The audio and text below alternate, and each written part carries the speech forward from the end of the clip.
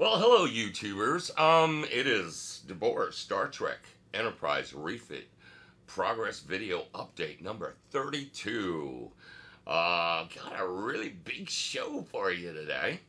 Uh, I know a lot of the times over the last few months I've been putting out videos on Monday, but this project is progressing along at a, much faster pace now. So some weeks you'll see um, two videos, some weeks you'll see the video in the middle of the week and all that. So as far as being regular, um, the video um, will be sporadic. So, uh, but at least once a week, okay?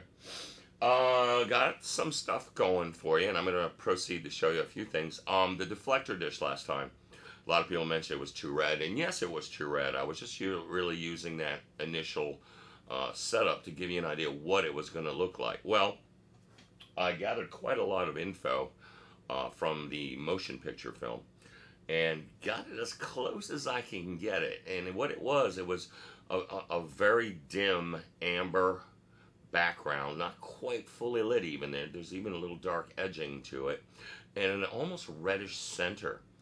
Uh, what I had to do, and uh, I won't show it so my competition doesn't, you know, rip it off from me, but you will see the effect. Sorry for those guys out there that want to reproduce the effect on you. Um, is, is, is an LED that was specially modified to do two colors within one spectrum. A little hard to explain, but you'll see how it resulted. Also, the uh, thrusters are installed on that sensor dish assembly. Uh, they need a little refinement, but I'll show you those activated. And also, also, also, what else we got? Oh, we're going to show you the pylons and what's going on with those. And there, we're going to be sent off to Elliott Brown, and I'll show you why that is. Uh, I need some parts on here, very, very tiny parts, and uh, we'll take a look at that. And then I am going to show you some new ghost hunting equipment. Now, um, one of the few things I didn't have in my arsenal, and if you've seen some of my paranormal videos, you'll realize I have a whole lot of stuff, but there was one thing I didn't have, which was a FLIR, which is a device that sees an infrared. Because spirits are usually cold or downright cold.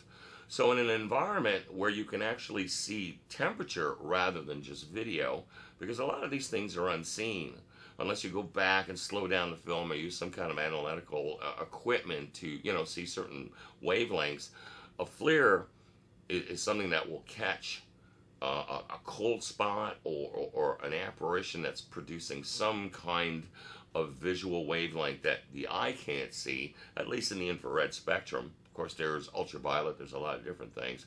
Uh, probably the next thing on my list is a full spectrum camera. And uh, we'll get to that one of these days, you know, one thing at a time. The FLIR is very expensive. Um, if you guys go to Amazon and look up FLIR and all that, you'll realize these things range from $1,000 to $6,000. So very pricey. So Papa saved his pennies for a while and actually got one of the lesser expensive ones, but it works very well. Uh, I also created a mount so that with one hand you can have your video camera, night vision, and the FLIR all on one mount. So you've got dual screens to watch and still have this hand free to beat off banshees and whatever else comes up. Monsters. So uh, without further ado, let's move on. All right, so we have our pylons here. Now the pylons were very rough. Um, and the grooves here already had sort of a fin structure in there but again, very rough. Um, you know, these are uh, garage kits, although I'd say Dennis does way better than just garage kit level.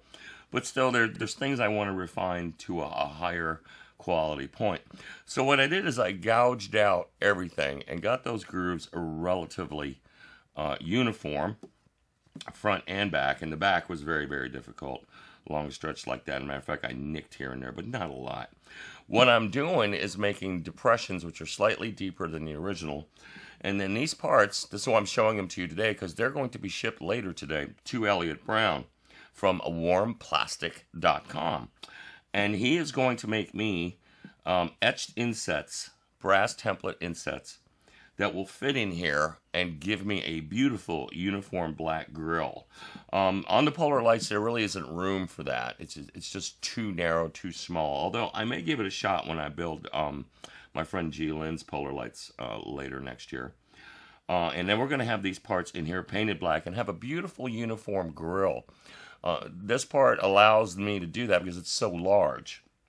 Also notice that the part does have quite a lot, and I don't know if you can quite make it out. Let me get the light just right here. There is pitting, and especially here you can kind of make that out. Ooh, reverso world. Pitting here and there from the casting process. All that'll have to be filled. But I'm not going to get into refinement right until I get the parts back. And here's one that's been outfitted with the wiring. Now, Dennis was very clever and gave me that interior brass channel which allows you to put the wires. So now there's um, four wires, main and uh, common leads in this part, which allows for, let's see, one of them will be doing the strobe effect on the end of the engines. The spotlights in the forward part of the engine will have their own turn on sequence. So you can literally, the way that the board's been set up, do that motion picture sequence at the beginning when everything turns on, you know. First the main lights, and then the spotlights, and then the sensor dish, and all that. Very, very cool. So you can have a whole lot of fun. I do love um, Mr. X's stuff. Another one of the leads is for the thrusters. And let's see what else. Oh, and of course the warp engine itself. So I'm going to be taking these out, but I wanted to show you how well I can get all these leads in there uh, with you know with the with the minimal fuss involved usually in doing something like that. So anyway, so here's our pylons ready. These will be going to Elliot. Also notice the oh, excuse me that Egg McMuffin is speaking again. Revengeful little bastards. Um, the uh, attachment screw, which is actually hardware. There is also, let me see if I can find it, a couple of brass pins and what I've done is I've already located the spot where those pins are going to go in for structural strength. What he did is he cast a resin peg right there to give me an idea where it was. And these will help make this stronger when I'm mounting it to the secondary hull. And I might be able to at least give you an idea what that's going to do when we're over there at the um, uh, assembly table and uh, show you where these puppies are going to go in. So let's move on and, and get to the main course, which of course is the sensor dish lighting, which came out really well in my opinion. Some people will be like, you know, the Trek Nazis out there will be, well, you didn't get quite the right red hue and all that. Well, you know what? Today the word is, so let's move on. Okay, so here we have our little demo. Um, lots of goodies right down here in power packs and whatever, because these things don't do all this fancy stuff all by themselves. So what I'm going to do is I'm going to dim the house lights and give you an idea of what I got with the sensor dish. And then I'm going to show you a comparison right here on my little video monitor. Well, I shouldn't say my little, my great big TV here, which is super helpful when you're trying to duplicate video material. And uh, we'll do a little demo on how I got the sensor dish to look right, and then we'll take a look at the thrusters, okay? All right, so now I've got it set up. Now, mind you, in this situation with this video camera, and the lighting so I can maximize you seeing the dish and all that. You're not quite getting all the amber, but I'm hoping you'll get the concept. So first up, the red effect. Now, it's looking awful red, unfortunately, but this is way more of an amber with that central little red thing, and, and, and it's a shame it's not picking it up better. I hope that when I look at this on the big screen, you'll see more of that amber, but it's there. And then the shift to blue. Well, here, so here, I want to show you a comparison of what I, I was studying. Notice the engine on the bottom here. See what I'm saying? There's a red center. It's sort of dim with the amber around it. Now, the camera's not picking it well, up well on mine because obviously I think mine's probably a little brighter being closer and not like this on a film. All right, here's another really good shot of it. See how it is? Sort of reddish, amber, but not very well lit. And that's kind of what I was going for. There's, there's that ring, and it's all there. I just wish my camera was picking it up better. Now I'll turn on the thrusters, which are very rough, okay? They're not perfected yet. Let me move this to the side a little bit. And you can see our thrusters are in place. Um, they need to be mass conserved. There's a lot of light bleed and all that right now. But you get the concept. And they will also be turning on and off with the sequencer. So there you have it. there's that part. So let me cut here and give you an idea. Where's my little gizmo? Um, where those engine pylons are going on and how they're going to be attached. All right, to give you a concept, so here's our um, hardware pin, and there'll be a couple more pins here to locate. And he's already put one of the pins down here to show me where this one's supposed to go, one of the pinholes. And it'll roughly go in there like that. Now, inside, that's why I left myself that cavity. I'll be able to put the nut through, see where those pins are going and all that. And that's why I've left everything clear for now, because I've got to snake all those wires back down this way. Afterwards, we'll be able to put in our shuttle bay and all kinds of other goodies and move on from there. And of course, since the pylons will be going away, the very next thing I'm going to be doing is working on those engines. Yes, the warp engines. So you see it's all coming together now. The saucer's been put away, secondary hull is underway, we've got our pylons going, moving on to the engines. And of course, it all gets put together as sub-assemblies, and then we start to paint. Yay! Love the painting part. So now, uh, rather than the usual funny, I know a lot of you guys like the funny, but I thought I'd take that portion of the film today and show you this new ghost hunting gear. So let's move on. All right, so me and Bob here are going to do a demo, right, Bob? He doesn't talk much. But anyways, here's the FLIR I was talking about. Let me move a little bit forward here. This is a FLIR infrared camera. Now, the beautiful thing about this is it sees in heat, not in the viewable spectrum that most humans can see. From what I've heard is wolves and other nocturnal hunting creatures see in this mode, although I'm not sure they get it quite as colorful as a FLIR. I would think it's more gray tones and things like that, but I'm not sure. You know, those animals have some serious eyesight. So what I'm going to do, I'm going to activate my little FLIR here. And you can see the little view screen. Whoop, let's not get that reflection in there. And then I'm going to open up the lens. And it's updating. Let's see. There we go.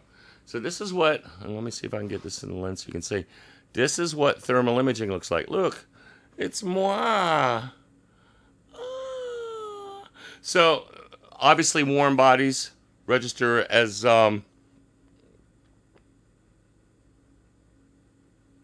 hot colors, cooler areas, and so sometimes it recalibrates. You can put it in different modes. This is also a great tool for contractors to find well water leaks and things like that. But I bought it mostly for the ghost hunting capabilities of it, and it's quite a versatile tool. So now what I want to do, stepping back into the picture, I want to show you the mount that I created so that'll give me the ability to see the FLIR and the night vision gear when we're doing our ghost hunting experiments. Moving on. Okay, so using a few junk parts that I had, I created a handle, basically bracket T-bar device. And as you can see, you have the ability to see both screens at the same time while you're filming. I also managed to align them so that both are looking at exactly the same angle and view. So when we're doing our ghost hunting, this is going to be very, very handy because you need one hand, like I said, to fight off the monsters. Anyways, I thought I'd share that with you because I'm very proud of the way it turned out. It took a little bit of cleverness to um, get this going. Also notice that I've got on the bottom bracket mounted the infrared, which helps the camera see in night vision far better than it does just on its standard uh, device that's built in. So there you go. So we are planning another ghost hunting uh, expedition. I, have got a couple areas in mind, but you know, there's always the legalities of, of being allowed to go in there, whether you have to pay to go in there, and things like that. So, Papa out, and we'll see you next time. See you.